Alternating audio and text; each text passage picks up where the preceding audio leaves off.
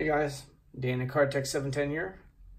Just got back from a business trip from Indiana, Missouri last night. I did get to go to a St. Louis uh, and catch a Cardinals Marlins game. Fantastic stadium. I've always wanted to watch a game there. Paul Goldschmidt hit a, a home run to win the game in the 11th inning.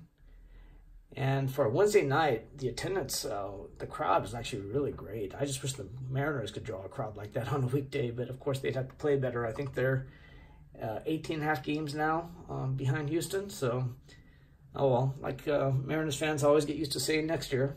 But our hotel was actually right across the street from um, Busch Stadium, and it had photos of uh, paying homage to like Stan the Man all over the place, Stan Musial. So I was really excited to see that. And uh, when I got home, I had some pickups waiting for me that I'm uh, waiting to get delivered. And to start off, 2017 Topps Heritage uh, Pete Alonso uh, autograph and a PSA 10. I really like the 2017 Topps Heritage since it looks like a 68 Topps, and this is a relatively inexpensive way to get an autograph card. Going, staying with Pete Alonso, this is the 2016 uh, Bowman Chrome Blue Refractor in a PSA 10. And this is numbered number 4 out of 150. He's having himself a pretty great season. And, you know, one of my resolutions was to stay away from prospect cards, but uh, there seems to be quite a bit of buzz about this kid here, Wander Franco. It's the Bowman Chrome Blue Refractor, numbered 137 out of 150. Pretty thick too, but uh, this card will be going to PSA at some point.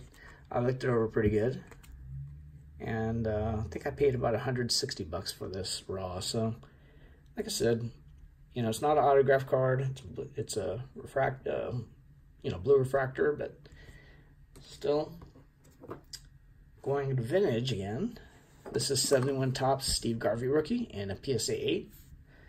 Uh, I used to go to Dodger games with my grandfather when Steve Garvey, Ron Cey, and some pitcher named Fernando Valenzuela uh, used to play. And I've been trying to get a PSA 8 and a 71 Topps for a while, uh, just any 71 Topps and a PSA 8. But I kept on losing auctions on like Burt Blyleven rookies, uh, Frank Robinson, Reggie Jackson, Roberto Clemente, and I was just getting tired of it. So I uh, was just kind of shopping around for 71 Topps and PSA 8.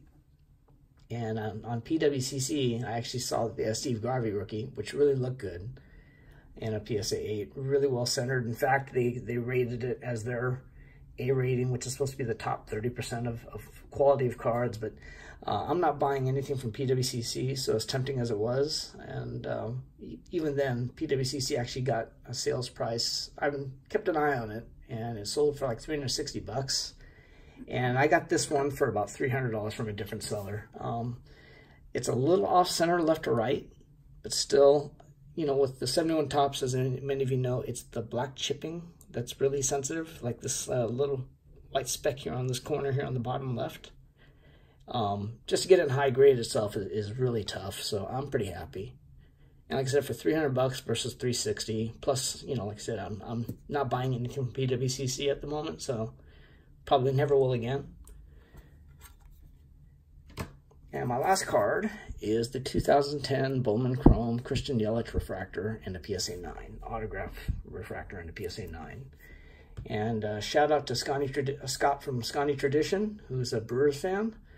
Uh, I don't buy many Bowman autos, if you guys ever notice. Uh, just the, the prospect card autographs are just so expensive. I normally uh, get a rookie's like Topps rookie or if I do get their prospect cards, uh, like these, like the Bowman Chromes, I just get like the, you know, a limited refractor with a, that's numbered. In the case of these, these are both numbered to uh, 150. Um, like I said, just because it's too expensive. So, but in the case of Christian Yelich, I actually consider him to be an actual like investment. He's just a really great player.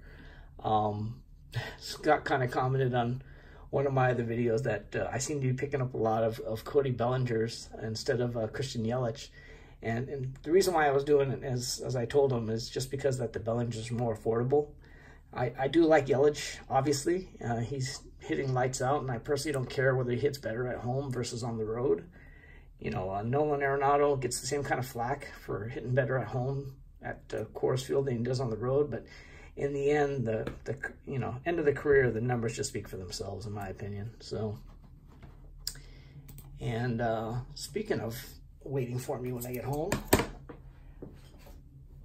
I got Fillington's Ricky Explosion Box version six waiting for me, which will be in a separate video coming up soon.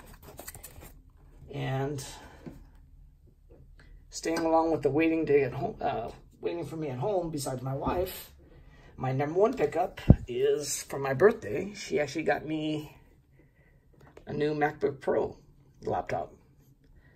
So, uh, you know, it's basically my early birthday present. So hopefully I'll be able to learn to edit videos. I know Macs have great uh, video editing software, so I'm pretty excited about that. Jeremy from Base 1986 is a big Mac user, so I'll probably be bugging him for, for help, I'm sure. Um, but, you know, you know, stay tuned and uh, I'll be posting a video on my Ricky Explosion box rip. And if uh, you guys like videos like this, then please subscribe to my channel. And in the meantime, guys, thanks for watching.